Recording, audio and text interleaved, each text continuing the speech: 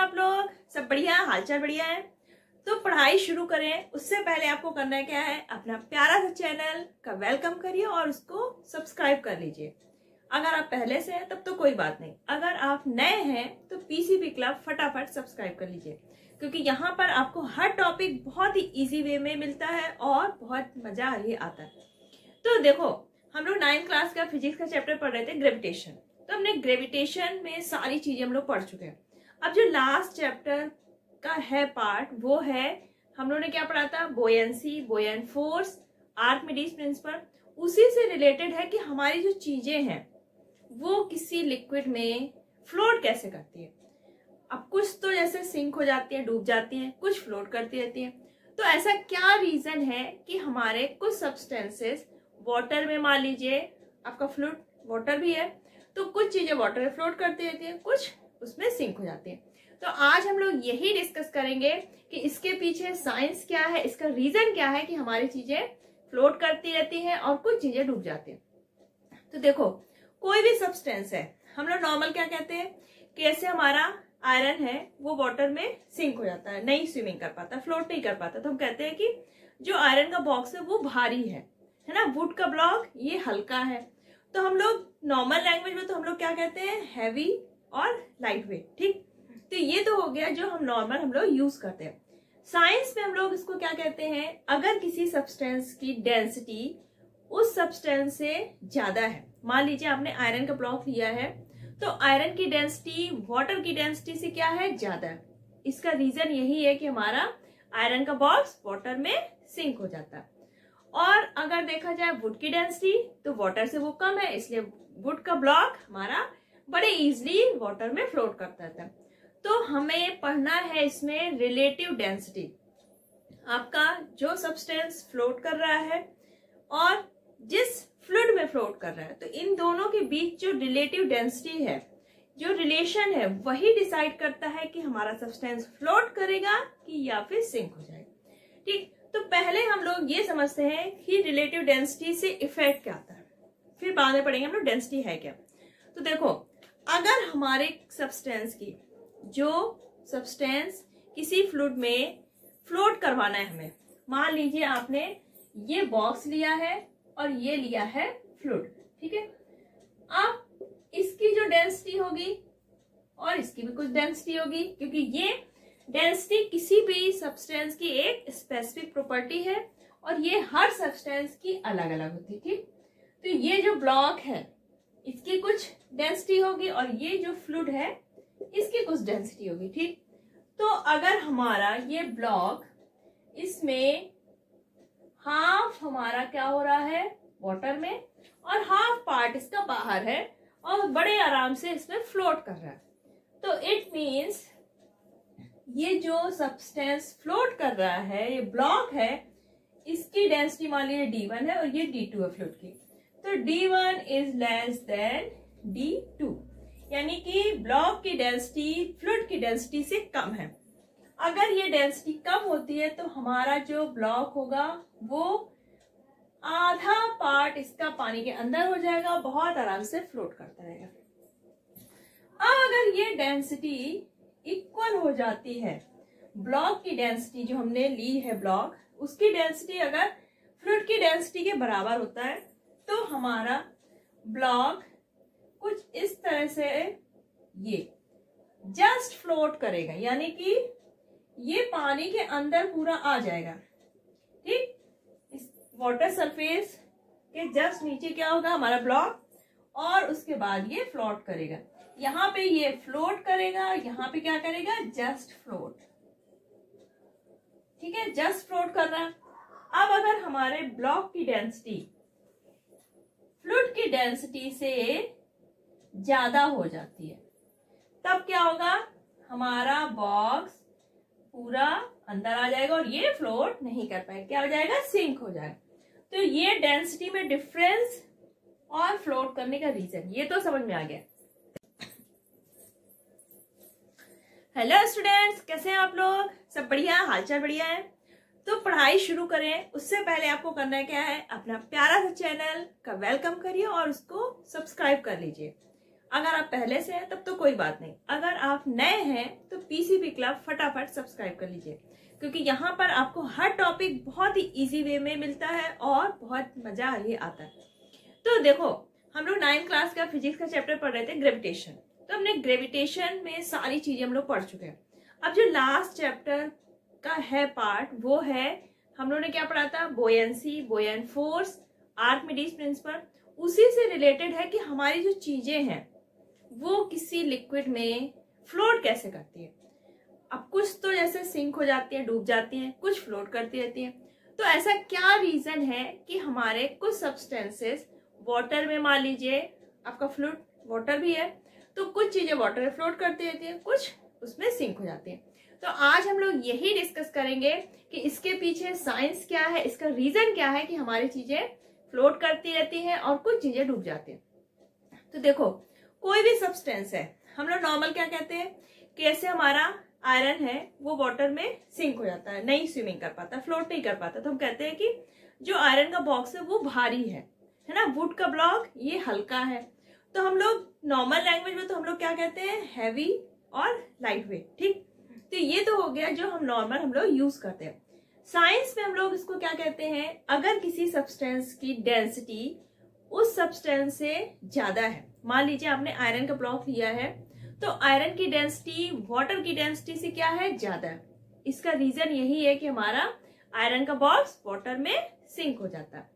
और अगर देखा जाए वुड की डेंसिटी तो वाटर से वो कम है, इसलिए वुड का ब्लॉक हमारा बड़े इजिली वाटर में फ्लोट करता था तो हमें पढ़ना है इसमें रिलेटिव डेंसिटी आपका जो सब्सटेंस फ्लोट कर रहा है और जिस फ्लूड में फ्लोट कर रहा है तो इन दोनों के बीच जो रिलेटिव डेंसिटी है, जो रिलेशन है, वही डिसाइड करता है कि हमारा सब्सटेंस फ्लोट करेगा कि या फिर सिंक हो जाएगा। ठीक तो पहले हम लोग ये समझते हैं कि रिलेटिव डेंसिटी से इफ़ेक्ट क्या आता है। फिर बाद में पढ़ेंगे हम लोग डेंसिटी है क्या। तो देखो, अगर हमारे सब्सटेंस की जो सब्सटेंस किसी फ्लूड में फ्लोट करवाना है हमें। मान लीजिए आपने ये बॉक्स लिया है और ये लिया है फ्लूड ठीक है? अब इसकी जो डेंसिटी होगी और इसकी भी कुछ डेंसिटी होगी, क्योंकि ये डेंसिटी किसी भी सब्सटेंस की एक स्पेसिफिक प्रॉपर्टी है और ये हर सब्सटेंस की अलग अलग होती है, ठीक? तो ये जो ब्लॉक है, इसकी कुछ डेंसिटी होगी और ये जो फ्लूड है इसकी कुछ डेंसिटी होगी, ठीक? तो अगर हमारा ये ब्लॉक इसमें हाफ़ हमारा क्या हो रहा है? वाटर में, और हाफ़ पार्ट इसका बाहर है, और बड़े आराम से इसमें फ्लोट कर रहा है। तो इट मीन्स ये जो सब्सटेंस फ्लोट कर रहा है, ये ब्लॉक है, इसकी डेंसिटी मान लीजिए डी वन है और ये डी टू है फ्लोट की। तो D one is less than D two यानी कि ब्लॉक की डेंसिटी फ्लूड की डेंसिटी से कम है। अगर ये डेंसिटी कम होती है तो हमारा जो ब्लॉक होगा, वो आधा पार्ट इसका पानी के अंदर हो जाएगा, बहुत आराम से फ्लोट करता रहेगा। अब अगर ये डेंसिटी इक्वल हो जाती है, ब्लॉक की डेंसिटी जो हमने ली है ब्लॉक, उसकी डेंसिटी अगर फ्लूड की डेंसिटी के बराबर होता है तो हमारा ब्लॉक कुछ इस तरह से ये जस्ट फ्लोट करेगा, यानी कि ये पानी के अंदर पूरा आ जाएगा। ठीक? इस वाटर सरफेस के जस्ट नीचे क्या होगा? हमारा ब्लॉक और उसके बाद ये फ्लोट करेगा। यहाँ पे ये फ्लोट करेगा, यहाँ पे क्या करेगा? जस्ट फ्लोट ठीक है? जस्ट फ्लोट कर रहा। अब अगर हमारे ब्लॉक की डेंसिटी फ्लूड की डेंसिटी से ज़्यादा हो जाती है। तब क्या होगा? हमारा बॉक्स पूरा अंदर आ जाएगा और ये फ्लोट नहीं कर पाएगा। क्या हो जाएगा? सिंक हो जाएगा। तो ये डेंसिटी में डिफरेंस और फ्लोट करने का रीजन ये तो समझ में आ गया। अब हमें पढ़ना है रिलेटिव डेंसिटी यानी कि जो हमारा ब्लॉक और जो फ्लूड दोनों के बीच कुछ डेंसिटी का रिलेशन होगा तो उस रिलेशन को क्या बोलते हैं? रिलेटिव डेंसिटी हमें क्या पढ़ना है? रिलेटिव डेंसिटी ठीक? तो रिलेटिव डेंसिटी पढ़ने से पहले हमें पता होना चाहिए कि व्हाट इज़ डेंसिटी ठीक? तो डेंसिटी क्या है? मास ऑफ़ अ सब्सटेंस कोई भी सब्सटेंस है, उसका मास किसमें होना चाहिए? पर यूनिट वॉल्यूम पर यूनिट वॉल्यूम के अंदर उस सब्सटेंस का जो भी मास है, वो क्या होगी? डेंसिटी तो डेंसिटी इक्वल टू क्या लिखे हम लोग? मास अपॉन वॉल्यूम ठीक है? वन मीटर का एक क्यूब लिया। ठीक है? क्योंकि वॉल्यूम हमारी कैसी होती है? थ्री डायमेंशनल यूनिट में मानी जाती है। तो ये वन मीटर का क्या है? क्यूब तो ये हो गया हमारा वन मीटर क्यूब का एक वॉल्यूम दिखा रहा ठीक? इसमें हमने क्या फिल कर दिया? वाटर तो इस वन मीटर क्यूब में जितना भी वाटर भरा होगा, वो क्या हो जाएगा? इसका मास, ठीक है? तो मास अपॉन ये वॉल्यूम तो हमारी वाटर की डेंसिटी क्या आ जाती है? थाउज़ेंड। अब इसकी यूनिट क्या होगी? मास को हम लोग किसमें रिप्रेजेंट करते हैं? केजी में। वॉल्यूम हो गया आपका मीटर क्यूब। तो डेंसिटी की एसआई यूनिट क्या हो जाएगी? एसआई यूनिट क्या हो जाएगी? किलोग्राम पर मीटर क्यूब।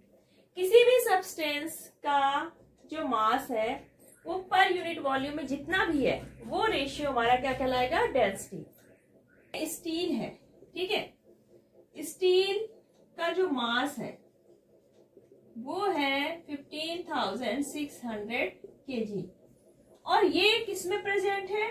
वॉल्यूम यहाँ पर है टू मीटर क्यूब यानी कि टू मीटर क्यूब के वॉल्यूम में जो हमारा स्टील का मास है, वो दिया है फिफ्टीन थाउज़ेंड सिक्स हंड्रेड तो स्टील की डेंसिटी कितनी हो जाएगी? मास अपॉन वॉल्यूम लिखेंगे तो fifteen thousand six hundred upon two ये कितना आया? टू सेवन जा फोर्टीन टू एट जा सिक्सटीन ज़ीरो ज़ीरो किलोग्राम पर मीटर क्यूब तो हमारी स्टील की डेंसिटी आ गई सेवेंटी एट हंड्रेड किलोग्राम पर मीटर क्यूब तो कोई भी सब्सटेंस है, उसके पर यूनिट वॉल्यूम में जितना भी मास प्रेजेंट है, वो उसकी डेंसिटी है. यानी कि डेंसिटी अगर किसी सब्सटेंस की ज़्यादा है तो वो ज़्यादा हैवी फील होगा. क्योंकि मान लीजिए इतने वॉल्यूम में किसी सब्सटेंस का ज़्यादा मास है तो वो ज़्यादा हैवी फील होगा. इतने ही वॉल्यूम में किसी सब्सटेंस का कम मास है तो वो लाइट वेट फील होगी. तो ये हो गई आपकी एसआई यूनिट किलोग्राम पर मीटर क्यूब अब अगर स्मॉल यूनिट की बात करते हैं, ये तो लार्जर यूनिट हो गई। कुछ सब्सटेंस होते हैं हमारे जो स्मॉल यूनिट में हम लोग लेते हैं, इतना ज़्यादा नहीं होता है। तो उनको हम लोग ग्राम पर सेंटीमीटर क्यूब में मेजर कर लेंगे। तो उनकी डेंसिटी हम किसमें ले लेंगे? ग्राम पर सेंटीमीटर क्यूब में। अब ये जो डेंसिटी है, ठीक है ये तो हमें समझ आएगा डेंसिटी क्या है। अब बात इसी सब्सटेंस की हमें डेंसिटी पता चल जाएगी तो हमें ये पता चल जाएगा कि वो सब्सटेंस हमारा वाटर में फ्लोट करेगा कि नहीं, ठीक है? अगर सब्सटेंस की डेंसिटी वाटर की डेंसिटी से कम आती है तो वो फ्लोट करेगा। इक्वल आती है तो भी वो जस्ट फ्लोट करेगा। और अगर ज़्यादा होती है तो वो सिंक हो जाएगा। जैसे आपको एक सब्सटेंस दिया है 50 ग्राम का, उसका वॉल्यूम है 20 सेंटीमीटर क्यूब तो अब ये पूछा जा रहा है क्वेश्चन में कि क्या ये सब्सटेंस हमारा वाटर में फ्लोट कर पाएगा? वाटर की डेंसिटी दी है वन ग्राम पर सेंटीमीटर क्यूब तो अब वाटर की डेंसिटी तो हमें पता है तो हमें पता होना चाहिए सब्सटेंस की डेंसिटी अगर सब्सटेंस की डेंसिटी वाटर की डेंसिटी से कम होती है तो हमारा ये सब्सटेंस क्या करेगा? वाटर में फ्लोट करेगा अदरवाइज़ सिंक हो जाएगा. तो हम डेंसिटी निकालते हैं सब्सटेंस की एम अपॉन वी से. मास दिया आपका 50 ग्राम, वॉल्यूम दिया है 20 सेंटीमीटर क्यूब तो ये आया आपका 2.5 ग्राम पर सेंटीमीटर क्यूब तो सब्सटेंस की डेंसिटी आपकी 2.5 ग्राम पर सेंटीमीटर क्यूब आई. वाटर की दी है आपकी वन तो ये क्या है? 2.5 वन से ज़्यादा है. क्या हुई आपकी? ये जो सब्सटेंस की डेंसिटी है ये वाटर की डेंसिटी से क्या हुई? ज़्यादा है। यानी कि हमारा ये जो सब्सटेंस है, ये वाटर में फ्लोर नहीं करेगा, क्योंकि ये वाटर से ज़्यादा हैवी है। डेंसिटी ज़्यादा मतलब वाटर से ज़्यादा हैवी है। तो ये तो हो गई आपकी डेंसिटी अब बात आती है रिलेटिव डेंसिटी की। डेंसिटी है। तो रिलेटिव डेंसिटी अगर हम किसी भी सब्सटेंस की निकालते हैं तो ये होता है relative density of substance equal to density of substance upon density of water यानी कि वाटर के रिलेशन में इसकी जो डेंसिटी है that is called relative density तो इसका फॉर्मूला क्या हो जाएगा? Relative density of a substance is equal to density of substance upon density of water.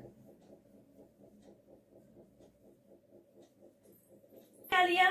Density of substance upon density of water अब मान लीजिए, अब इसको हम आगे कैसे लिख सकते हैं? Density of substance density of water density equal to क्या होता है? मास अपॉन वॉल्यूम यानी कि मास सब्सटेंस का और मास और वॉल्यूम हो गया सब्सटेंस का upon mass of water upon volume of ठीक। अब अगर हमने इक्वल वॉल्यूम लिया है, जो हमारा सब्सटेंस है और जो वाटर है, दोनों का वॉल्यूम हमने इक्वल लिया। तो हमारा वॉल्यूम वाला पार्ट क्या होगा? कैंसिल हो गया, क्योंकि हमने इक्वल वॉल्यूम लिया तो आपका क्या बचा यहाँ पर? Mass of substance upon mass of water तो यानी कि रिलेटिव डेंसिटी हमारी क्या हो गई?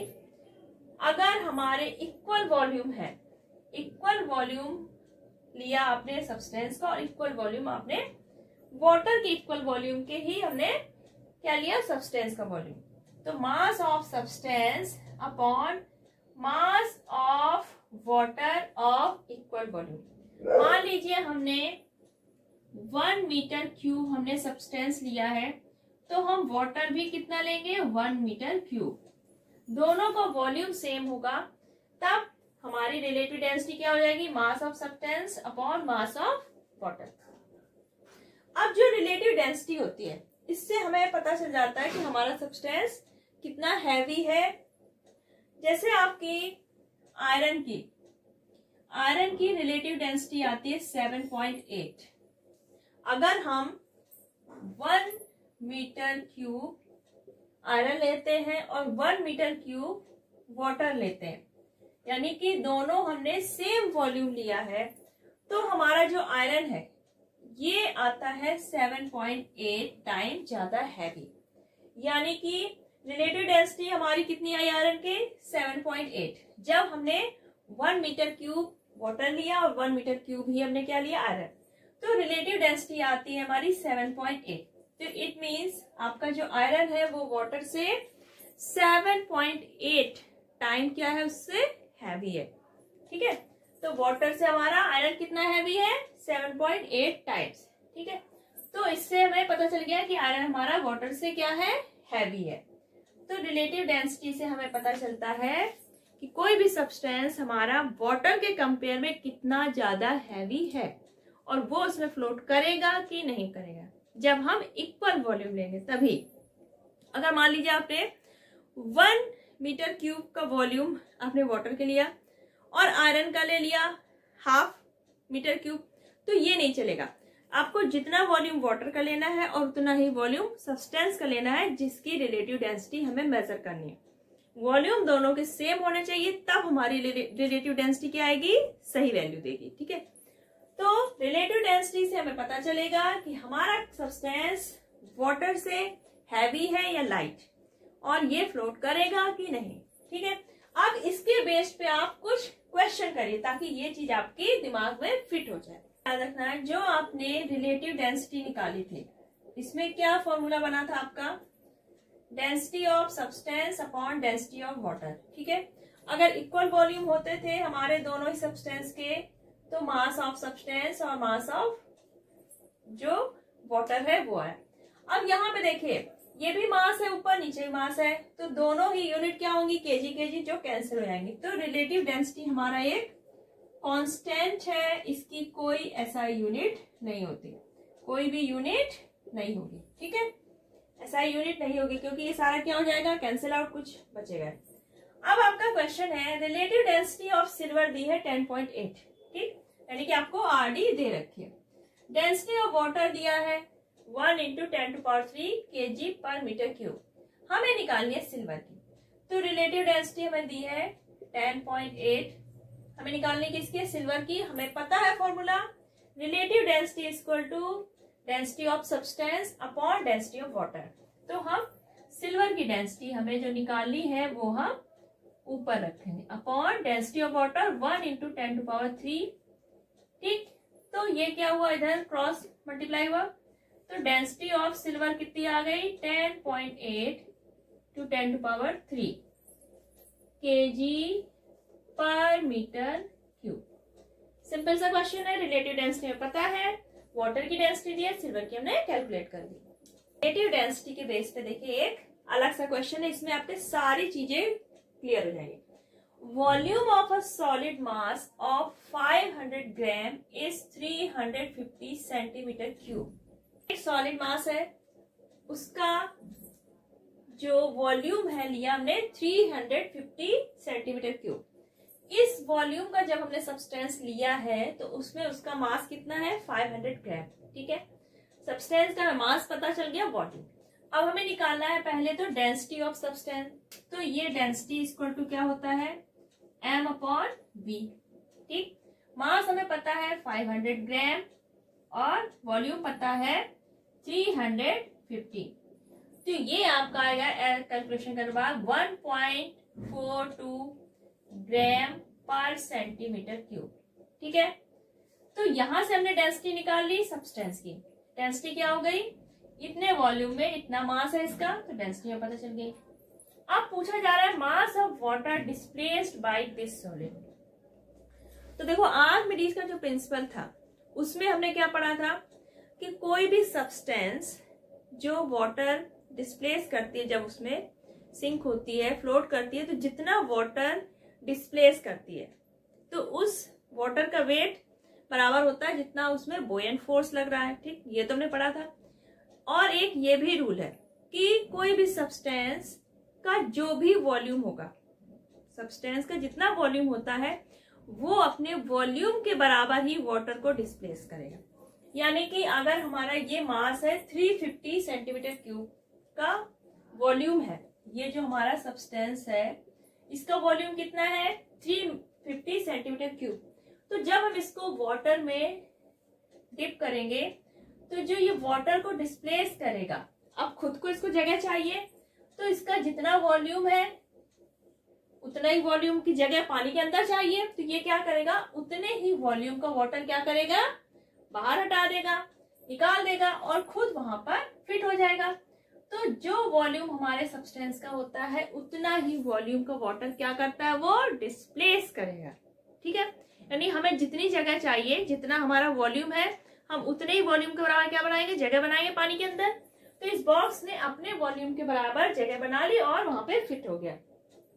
तो यानी कि जो वाटर है वाटर का जो वॉल्यूम होगा डिस्प्लेस किया जो, वो कितना होगा?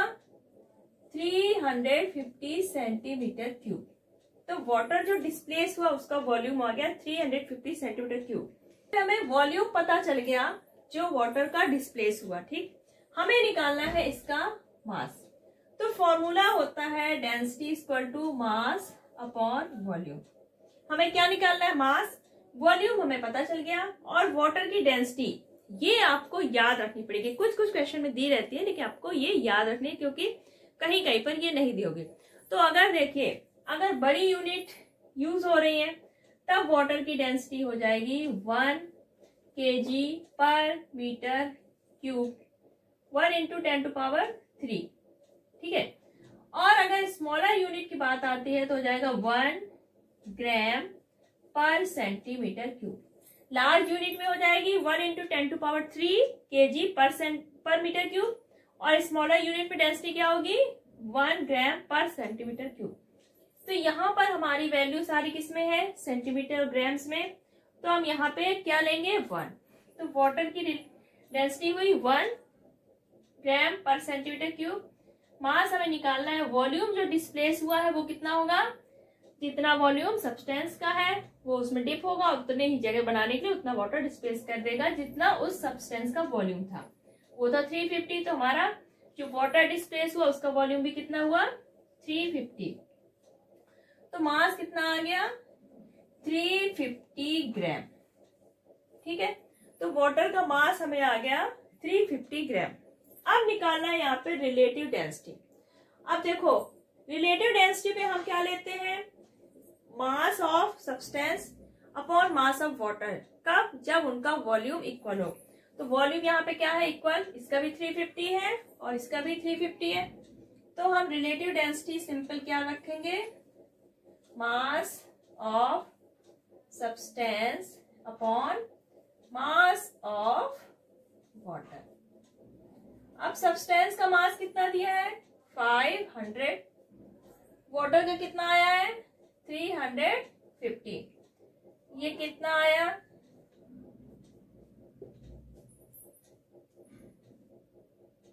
One point four two relative density कितनी आई आपकी? वन पॉइंट फोर टू अब पूछा जा रहा है कि विल इट फ्लोट और सिंक आपका जो ये सब्सटेंस था 500 ग्राम का, जिसका वॉल्यूम था तो ये वाटर में फ्लोट करेगा कि नहीं? देखो, अब यहाँ पे जो रिलेटिव डेंसिटी आई है, कितनी आई है? 1.42 वाटर की डेंसिटी कितनी होती है? वन ठीक है? तो यहाँ पर सारी वैल्यू हमारी किसमें थी? ग्राम पर सेंटीमीटर क्यूब में. तो इसमें हमारी वाटर की डेंसिटी वन होती है वन ग्राम पर सेंटीमीटर क्यूब तो अगर रिलेटिव डेंसिटी की वैल्यू इससे ज़्यादा है, यानी कि ये हमारा फ्लोट नहीं करेगा फ्लोट नहीं करेगा, और ये क्या हो जाएगा? सिंक हो जाएगा. अगर ये रिलेटिव डेंसिटी वाटर की डेंसिटी से कम आती, तब हमारा सब्सटेंस क्या करता? फ्लोट करता. तो आपको रिलेटिव डेंसिटी के एप्लीकेशन भी समझ में आ गए होंगे. हम किसी भी सब्सटेंस की रिलेटिव डेंसिटी वॉल्यूम के रिलेशन में निकालते हैं।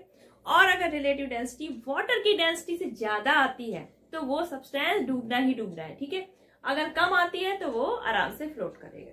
अब हम लोग पढ़ेंगे द प्रिंसिपल ऑफ़ फ्लोटेशन कोई भी ऑब्जेक्ट वाटर में फ्लोट करती है या सिंक करती है तो कब ऐसा होता है। देखो, आपको पता है, ये मान लीजिए कोई सब्सटेंस है, ये रहा वाटर तो जब वाटर में कोई सब्सटेंस हम लोग इन करते हैं तो क्या होता है? एक तो इसमें इसका वेट के कारण एक फोर्स लगेगा। वेट जो है वो डाउनवर्ड डायरेक्शन में लगेगा, ठीक है?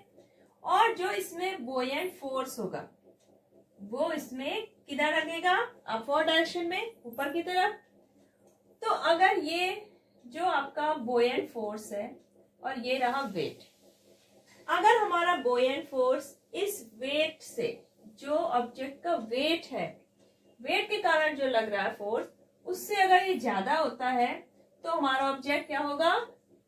आराम से फ्लोट करता रहेगा। अगर ये वैल्यू इससे ज़्यादा हो गई तो वेट के कारण जो फोर्स है वो क्या होगा? ज़्यादा है और बोयन फोर्स कम है तो हमारा ऑब्जेक्ट डूब जाएगा। और अगर जस्ट इक्वल है तो ये बैलेंस बने रहेगा और हमारा ऑब्जेक्ट इधर पे आके क्या होता रहेगा फ्लोट करता रहेगा। ठीक, ये तो हो गई हमारी अलग कहानी।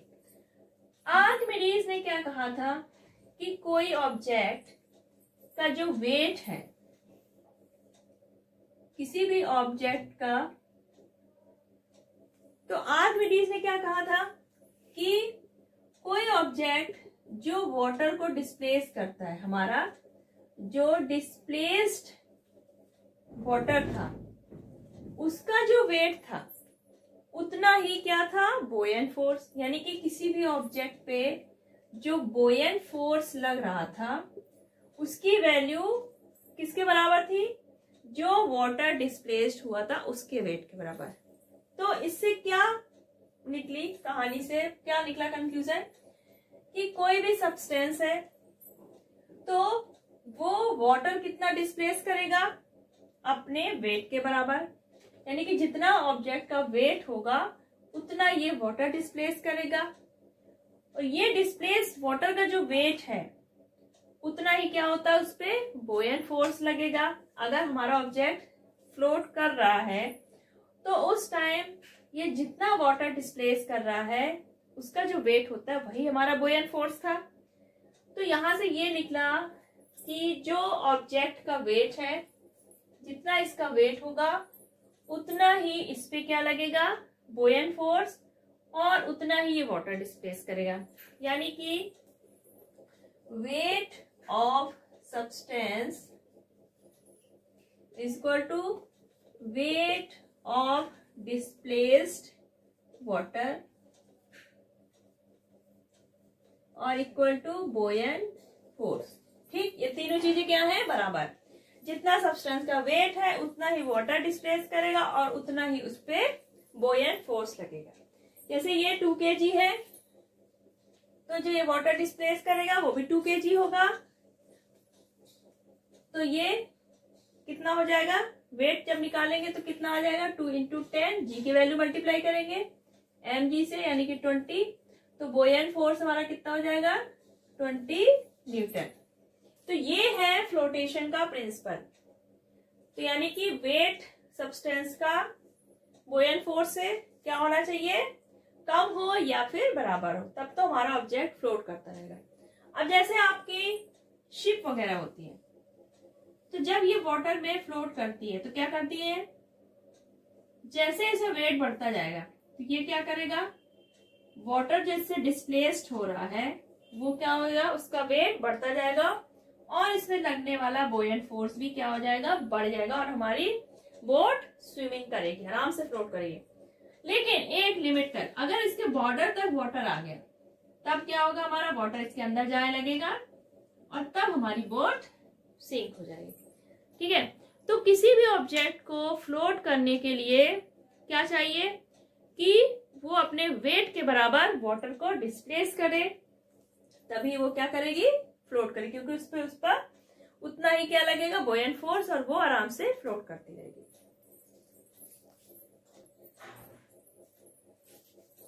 तो आपने प्रिंसिपल ऑफ़ फ्लोटेशन बड़े अच्छे से समझ लिया।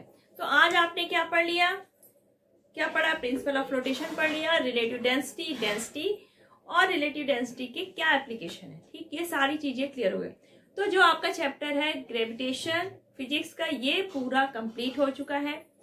अगर आपने सारे वीडियोस देखे हैं तो आपको चैप्टर पूरा समझ में आ गया होगा। बाय चांस कुछ क्वेरीज हैं तो आप कमेंट सेक्शन बॉक्स पे लिखिए। और अगर वीडियो पसंद आया है तो वीडियो को लाइक करिए और शेयर करिए। पीसीबी क्लब चैनल सब्सक्राइब कर लीजिए और बेल आइकन प्रेस करना बिल्कुल मत भूलिएगा। तो नेक्स्ट वीडियो आने तक अपना ख्याल रखिएगा। बाय